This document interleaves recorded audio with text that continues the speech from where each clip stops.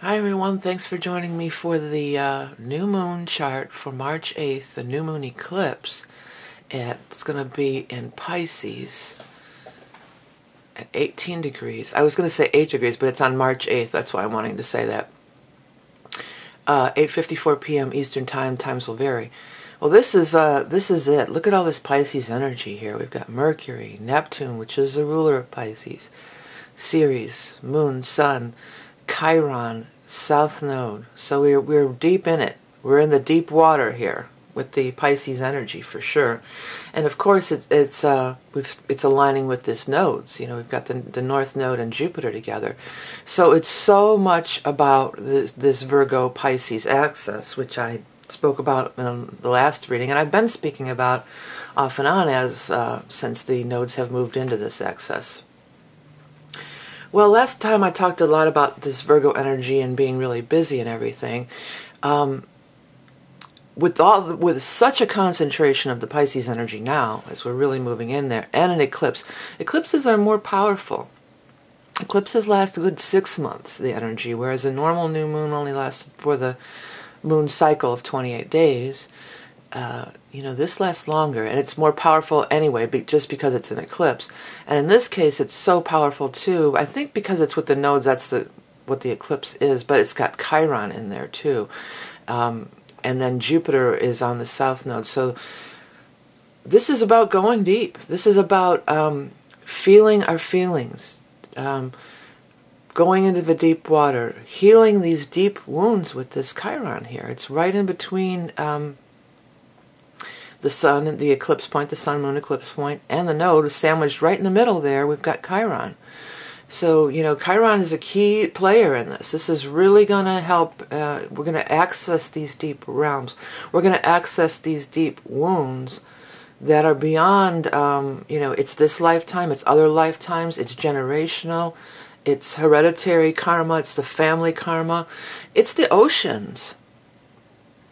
Yeah, we've got a, uh, this is because I just get this strong feeling about how the earth is speaking to us through this. And you know, the earth is, uh, you know, the ocean is a large part of the earth, and a large part of our body is the water and everything. So there's this. Um, it can be overwhelming. You know, you can get carried away with the water energy. The water, you can drown in the water energy. It can, it can wash um, I'm hearing that Catholic thing again. I think I used that in one of the animal totem books, but I'm hearing wash away the sins of the world. And that's something from my Catholic uh, dogma upbringing there. It's the Lamb of God. Have mercy on us. It's this whole thing. I'm sure many of you are familiar with it. Lamb, I'm not sure of the whole thing, but it's Lamb of God, take away the sins of the world, you know, or wash away the sins of the world. You know, I'm hearing that. And I feel like this is what this is. It's like some grand cleanse. You know, it is a new moon. So it is a time uh, for a new beginning. It's time to turn over a new leaf, make a new beginning. Um, I wanted to address a little bit more about this Virgo thing while I'm thinking of it. Yeah, in the last reading, I was saying, oh, it's just too much. We're Virgo, Virgo. We're too busy. We're too busy. Um, this Virgo energy is going to be nice to ground us in all this. Because this can just be. Uh, too much sometimes. You can be too dreamy and kind of out of it and too not able to get wrap your mind or your head around or get your feet on the ground, you know. So that's why this Jupiter and um, the node together is so nice. I feel like it's going to help us get grounded, help us take these big dreams because it's a new moon eclipse. It's this new big dreams we want to make. Um, it's the universal consciousness. It's this big energy of all these planets, including Neptune, which is Pisces ruler, all being in here. So uh, take all this um, deep spiritual. What do what do we find? And then Virgo, use it in an everyday practical sense. Bring it into our practical lives. You know, um, Virgo energy is very useful it's you know the negative side of it is you can be too much a workaholic and too busy in your head and stuff. But the positive side is it can take all this stuff bring it into the earth plane make it see tangible results in your own life. You know because virgo is the house of uh, i tried to run that flat wheel and it was just changing all the planets off so i have to look into that more. But I, am going to try to start putting zero aries on the ascendant. Uh, but i couldn't do it. So for those of you that aren't familiar in the flat wheel, Virgo is the natural ruler of the sixth house. So Virgo energy, sixth house, similar energy. It rules health. And it could be your mental health with all this Pisces stuff for sure. It could be your emotional health with all this Pisces stuff and the Chiron, you know, that's that has a lot to do with it. So we're feeling all these deep feelings. We're we're you know finding seeing all these wounds and coming up from ourselves and our family line, humanity in general, our past lives, everything. It's all bubbling to the surface through the water. It's uh, bubbling up. Um, and so then what do you do with it all? Well, that's where the Virgo energy comes in.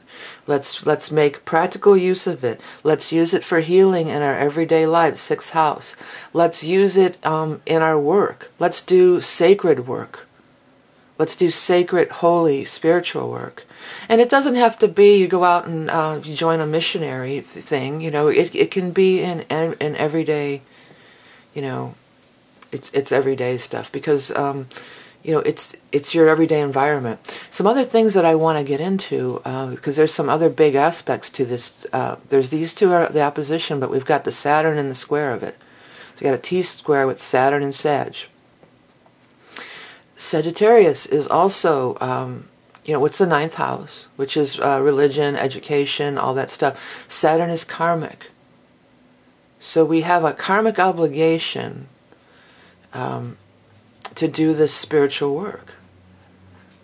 Um, and it's a lot of it's inner. It doesn't even have to be. I mean, great. I mean, you, everyone should, and yeah, go out and help people. That's that would be an awesome manifestation, sure. But it it has to do with your own stuff. And if you've come through, this is like about remembering too, with Saturn and the Pisces and all this South Node. Remembering because I, I see people sometimes, you know, they've they've come a long way in your life, and that's a great thing. But don't. It's like don't forget where you came from. Don't forget to give back. Don't forget to give. Uh, sometimes we see things like um, for two in the outer world, and Pluto is in there too in Capricorn. It's at 17. We've got all this stuff here. That's a sextile, Pluto and Capricorn, which is also earthly energy. Pluto trining the North Node so we can make great strides in moving forward and progress in our life. Sometimes people, we get in this place where we've come so far, we've pulled ourselves up by our bootstraps, you know, and clawed our way out of a bad situation. And then we see it in somebody else, and right away it's just like, oh, that's not me. Oh, I want to shut that down. Oh, I don't want to look at that. You know, with this Chiron in the South Node, we got to look at it. And not only that, Saturn, you have a karmic obligation um, to help to teach. Um, and again, it doesn't have to be on this big grand scale. It could just be on a one to one basis. It could just be talking, you know, because uh, Mercury is the ruler of uh, Virgo here. So it could just be like talking to somebody. And, and Mercury is also in this big splay of this Pisces stuff, conjunct Neptune over here, Mercury Neptune. So it can just be like talking to being, um, giving somebody a boost on a one-to-one basis. It doesn't have to be a big grand scale, although it could be, because this is like all of humanity, and um, you know, Sagittarius ninth house is like that too. That's the teacher. That's the educator. So with Saturn there, we have to learn from our our mistakes and our ancestors' mistakes and humanity's mistakes, and we have to do better. Like uh, I was going to say Nora Ephron, but of course it was not Nora Ephron. I'm totally blanking uh, the poet lady. God, what's her name? But the saying is, uh, when you know better, you do better. I can see her face, and I can't believe I don't know her name because I know it like the back of my hand. That's the Pisces energy. well, for some reason, I was compelled to say Nora Ephron too, so maybe she had some kind of quote that's uh, applicable to this. But um, God, what is her name? I can't. It's, I'm gonna, it's gonna drive me nuts. I have to just leave it. It'll come to me. I know it like the back of my hand. But she says, when you know better, you do better. So it can be like that. You do know better. You've been through your suffering. We've been through our suffering. We've been through the age of Pisces. We've been through the martyrdom. You know. So uh, the Virgo says it was not all for naught. You know, um, the Virgo says the water's going to dissipate and remove and cleanse and clear what we can't, what is not useful. Because Virgo is what's useful. How can I make use of this? And Capricorn energy is very much like that. How can I be useful to build into the future in a real, uh, practical, uh, earthly way? Because we are in the earth plane. We're in earth bodies here. So, how can I um, take all this universal knowledge, all this pain and suffering, purge it, and uh, get rid of what you don't want, and keep what you do and use it in a positive way. And Virgos are very good at doing that. And Capricorn's like, well, how are we going to be successful with this? How are we going to rise up in the world with this? How are we going to climb to the top of the mountain with this? And Saturn is uh, the ruler of Capricorn. So Saturn energy is involved in two ways through Pluto being in Capricorn, uh, sextiling this and trining this, and uh, Saturn, the ruler of Capricorn, being in the big T square with uh, this axis of the Virgo Pisces axis. Because it's such powerful energy of the eclipse, and the Jupiter is conjuncting the North Node, which is the direction we're going in, personally or as a collective or whatever, where are we going? We're going towards the Virgo energy. How are we going to get there? Through work and hard toil. There's going to be some work and effort involved. You can't just dream dream it away all. I mean, you could, you could dream it away all day, you know, but then somebody else is going to come along and do it. So uh, you know, it's going to require some hard work. It's going to require some down to earth with the earth signs, practical application, practical uh, sense you, know, you can't just drift off into Never Never Land. I mean, you can. I, I, I have to watch why I say that. I, I, I tend to say that a lot. Um, but one way is to drift off the Never Never Land and never, uh, never see it. Your dreams become a reality. This is a great moon for having your dreams become a reality. Dreams and reality. These are the two dichotomies that we're working with. So, very, very powerful. Um, riding that wave this is so funny. This is one of the, speaking of the collective consciousness. I've never been surfing in my life. There's no surf in Cleveland, USA. There was a song about that one time. Uh, and I've never been surfing. Um, but I was saying that, I started saying that riding the wave thing, I don't know, maybe in the 90s or something like that. I'm like, yeah, I'm riding the wave, baby. And, um, you know, it's a common expression now, but that's one of those things. It's like that was in the collective unconscious the collective conscious, and um, it wasn't related to any experience I'd ever had, you know. But I started saying that because it's there's this fluid, there's a collective unconscious, there's the broadcast from the universe. The universe is always broadcasting. Well, it's broadcasting big time here with this, uh, you know, sun, moon, uh, and eclipse thing in uh, Pisces. It's this is a major broadcast from the universe. So be ready to tune in. Be ready to take what you can, uh, what you pick up, what you download, what's broadcasted to you, and start using it in your practical life for a more successful life, for a life of Sagittarius ninth house of uh, living on a higher plane. You know, living, living, um, seeing things from a bigger level. Because the, the you know the, the downside of well, there's a lot of downsides to the Neptune Pisces energy, but um, you know there's escapism and there's also the victim mentality, the martyr again. So you could really get, some people could get stuck in this uh, Chiron thing. And oh, you know, I'm the victim, and you know, we're the it's the martyr time, and you know, um, it's time to rise above that with Saturn in Sagittarius, and with Saturn, Saturn and Sagittarius, this is karmic, and with it's a karmic on a grand level, and it's like this is what many we're here to do. We're not just here to um, get what we want, you know, uh, in a, you know that way. You know, you do the dreaming to manifest the law of attraction, which is cool, but we're here to rise above. We're here to take the earth to the next level. Uh, that's why we've incarnated Saturn, you know, to take it to a higher, out of this uh, this age of Pisces to the age of Aquarius. And with this Jupiter conjunct, I picked this up if you haven't, I've talked about it before, but if you, oops, sorry if you missed that one. Um, I picked this up on some people that were born in the 60s with the Pluto and the Virgo, and uh, it's been showing up in those past life charts I do. And they were called to heal the earth. And this is it. This eclipse opposing Jupiter conjunct, um, you know, this is it. If you were born at Pluto and Virgo, this is activating this big time it's like wake up call. Hello, hello, McFly. Remember, you came to Earth with a mission, not to just you know get acquire things and you know well be Pluto. You know, rise up and be successful in the world. You have a mission. It's to learn and teach and grow. Maya Angelou, thank you. when you know better, you do better. Okay, thank you for that, universe. So it's really there, and you know, Mars is in there too. It's not conjunct Saturn, but Mars is in Sag. So, you know, where are we going to put our effort and work? Mars is where we're going to work too.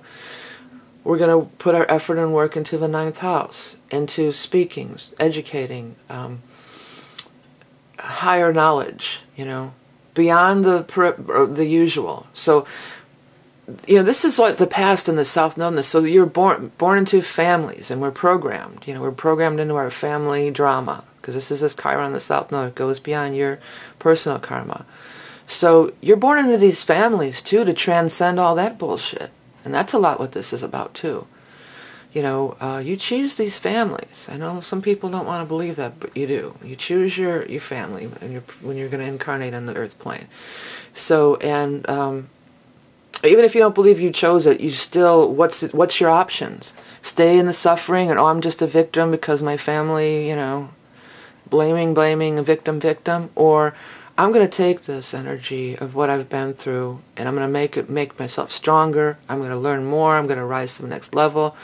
I'm going to also I'm going to have some understanding about it.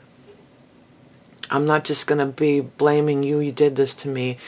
Uh, well, maybe you did this to me because your parents did this to you. You know, there's this higher level. I keep pointing up ninth house because that's Sagittarius's realm uh, you know, you, the, the ninth house energy is, you know, um, and Saturn is the karma of the family. It is, you know, and Pluto is um, Capricorn and Pluto there. So we're we're we're digging up this karma of the family, you know. Um, and I'm going to have some understanding, and I'm going to see that you're just a person just like me, and that you were doing the best you could, and I'm going to know better about what happened, and I'm going to do better I'm going to do better with my own kids or grandkids or with just people at large, you know, people who are suffering the same pains that I'm suffering instead of being like, oh, you know, so, so many people I see like they're just like, oh, well, you know, they have this attitude like if somebody's in a bad place, it's like, well, I used to be there, but now I'm I'm here. So I'm so much better than, you know, screw that. You know, because you, you know, don't forget where you come from don't bur- you know burn those bridges because you could the universe could kick you in the ass and you could get knocked right back down there. But it's not even that way like out of fear. It's be it's past that too. So it shouldn't be like oh i should be nice because i it could happen to me again. Like like some punishing karmic uh, god's gonna strike you with the lightning bolt. No it's like you know better you do better. You rise to the next um, level. You go to that higher place. You have um, a broader understanding about it, a broader understanding about everything that went down in your life. Or, or, or let's look at it this way, you know, because ninth house is foreigners. Oh, I hate those. They're so this, they're so that. You know, they're so, you know, the foreigners. They're the bad guys, right? No, uh, you have to have some understanding. What if you're born in a situation like that? You know, it, it could be hard to shake that belief system, and um, it, it could be really hard. It's look how hard it is for us to break out of our little family drama karma stuff, you know. And um, our belief systems, the reason that we think they're bad or they're evildoers or whatever, is because of our beliefs that we were indoctrinated into. So this is going much deeper than that. This is going to that soul level with the Pisces energy. This is getting into those deep waters. I mean, that's really what it is. It's very powerful to manifest um, into. Uh, there's a Saturn square, yeah, but you've got a strong sextile with this Pluto, and we've got the Jupiter node in there. So it's it's again this wake up call to what are we really here for? North Node with Jupiter. North Node, what are we here for? Jupiter is like, let's get into it. Let's get busy. Um, and get busy in a good way. With this kind of energy, nobody's going to be getting trying to be getting busy. This is going to be like it can be very lethargic, very dreamy, very. I feel like I don't want to do anything except you know sit around and dream a little dream. You know, uh, it would be beneficial to go to the water. Go to the water. This would be a great new moon to do some manifesting. Go to the water, write down your affirmations and what you want to manifest on little pieces of paper. Put them in the water and let it float away on the stream, you know. But then you got to come and you got to take practical action.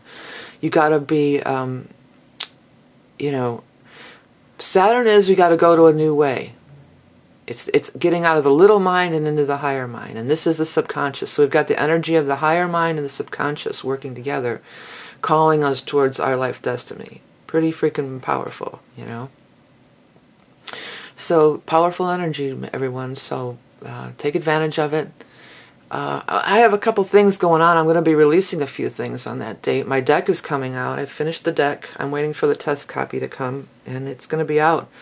Uh, hopefully I'll have it by then. But the other thing that I've been working on, and I'm going to be releasing right at that date of the new moon, is uh, some color adult color therapy, um, coloring books, relaxation therapy, de-stressing therapy. Coloring is very, very relaxful, and it lets your mind just kind of wander. The the thing that's really cool about this one, I have a coloring book and journal. It's my animal totem cards. If any of you haven't seen it. And what I've done is there's blanks of there's 44 uh, animal totem cards to color in, but then on the in between pages there's going to be spots I put notes. Because I found too when I was creating this deck and when I was coloring this deck, a lot would come to me. You're spending a lot of time with this animal energy. You know, you're spending um, it takes a long time to color. Some of these are very simple, and more simple, because and some of them are very intricate. You know, uh, so if you want to do one that's intricate, you can do that. If one that's not so intricate, you know, you can do that. Um, but when you're you're doing, you're working on a piece like this, and you're coloring, and you're in the you're in the energy of the animal, and so much can come to you and you're kind of like detaching. It's relaxing because you're kind of detaching from your, you're letting your mind wander. So I put a spot where you can write notes down because I feel like uh, many people will be picking up things as they're doing the coloring. I feel like you're going to be picking up things, you know, from the uh, spirit of the animal. So there's a section there where you can write down notes, thoughts. And it doesn't have to be like, oh, I'm a psychic, I'm tuning in, you know, woo woo. You can just be like, oh, I had a thought, and just jot it down. And I think it's going to be really cool in that way. I, and I'm, I'm going to do more of these adult coloring books. This is my new passion. I'm really into it. I started with the animal um, totem one because I already had the line drawings, but actually it took quite a bit of work to get them um, into shape as coloring books and stuff, but I did it. So this is coming out. This is what I'm releasing on the Eclipse and my new tarot deck. So I'm going to try to take uh, advantage of, you know, me with my Scorpio rising that's my this is my fifth house of creativity so i'm unleashing all my creative energy on everybody. Okay here it is. Um, it's the ending too. That's the other thing. It's like the last gasp of the piscean age. That was the other thing i was going to say about it. So take advantage of this new moon. Dream your little dreams. Get out of the blaming take it to the higher level. And then implement it in your everyday life for practical means Okay, everyone. Thank you so much for liking, sharing, commenting, everything you do to support the channel, including donating, which is highly appreciated. Remember, you are love and beauty incarnate. Have a great new moon eclipse on March 8th in Pisces, and I'll speak to you soon.